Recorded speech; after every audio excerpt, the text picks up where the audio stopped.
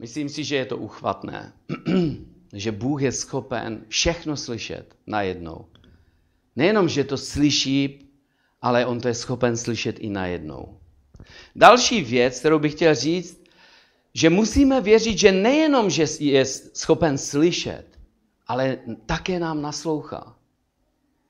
A vím, že já s tím mám někdy problém, že sice mám dneska už i problém s, se s normálním slyšením, to je důvod, proč někdy tak nahlas mluvím a moje žena mě pořád jako napomíná, jo, ticho, ticho, vždycky mi říkají, ticho, Jarku, jo.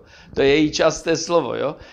Ale mám problém i s tím, že, že mám, nejsem tak dobrý v naslouchání druhým lidem, ano. Ale Bůh nemá tento problém. Bůh nejenom slyší, ale on také naslouchá. A kdo máte děti, tak to dobře znáte tu problematiku, že když něco řekneme, ale po chvíli zjistíme, že oni to sice slyšeli, ale nenaslouchali, že? To dobře znáte, jo?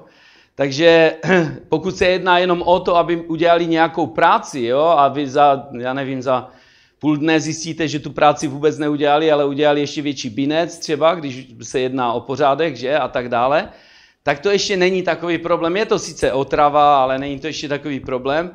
Ale pokud je to o tom, že nenaslouchá v životě, pak je to tragicky smutné, že? Není nic víc pro rodiče bolestnějšího, než vidět, že dítě nenaslouchá slovu svých rodičů. Ale stále si chce jít svou cestou. A rodiče ví, že se jejich dítě řítí do propasti a přesto s tím nedokážou nic udělat. A tak věřící člověk nejenom věří, že Bůh slyší naše slova, ale také, že jim naslouchá. Bůh nejenom slyší, ale také naslouchá. A ta tragédie je, že my si myslíme, že máme právo na to, aby nás Bůh poslouchal, aby Bůh slyšel naše modlitby, že máme právo. Dneska je doba, kdy si lidé myslí, že mají na všechno právo, že máme právo na život, na požehnání, máme právo na štěstí, na zdraví, máme právo vyžadovat tyto věci na Bohu. Ale jaká je ve skutečnosti pravda? Jaká práva ve skutečnosti máme?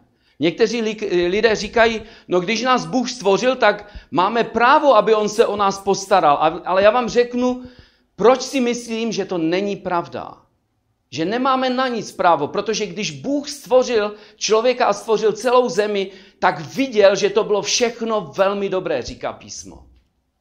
Ale dnes už dál to není velmi dobré ale všichni jsme se spronevěřili.